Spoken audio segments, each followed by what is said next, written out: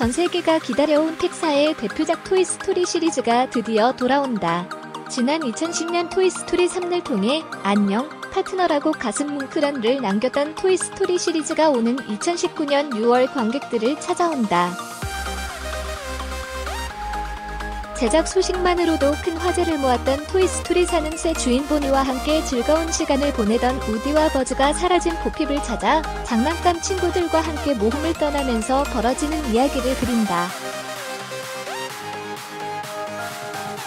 이번에 공개한 우디와 버즈의 캐릭터 컷은 굳건한 존재감을 증명하듯 당당한 포즈로 토이스토리사의 컴백을 예고하고 있다. 함께 공개된 welcome back 예고편은 추억의 팝송 보스 사이드 나움을 배경으로 토이스토리 전 시리즈를 함께 한 장난감, 우디, 버즈, 제시, 미스터 포테이토 헤드, 미세스 포테이토 헤드, 렉스, 햄, 알린, 슬링키까지 추억의 친구들이 손에 손을 잡고 도는 행복한 순간을 슬로우 모션으로 잡아낼 시선을 사로잡는다.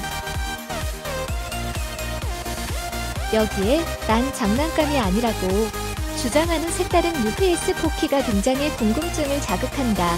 포키는 일회용 포크 숟가락에 눈과 입, 그리고 팔다리를 붙여 완성한 최초의 핸드메이드 장난감으로 당황한 기색이 역력한 표정으로 난동을 피우는 모습이 웃음을 자아낸다. 토이스토리 사는 우디 역의 톰 힌크스, 버즈 역의 팀, 알렌 등 전 시리즈를 함께한 배우들이 총 출동의 반가움을 더하는 한편 더욱 새롭고 흥미진진한 모험으로 무장하고 관객들을 만날 예정이다. 서울